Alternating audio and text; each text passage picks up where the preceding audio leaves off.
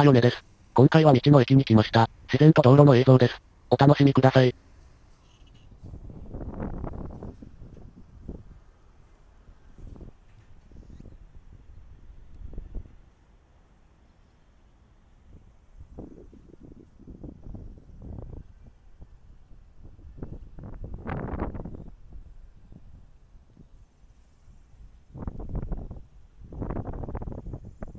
今日はここまでにします。ご視聴ありがとうございました。今後も、様々な動画を配信していくのでぜひチャンネル登録お願いします。では、次回の動画でお会いしましょう。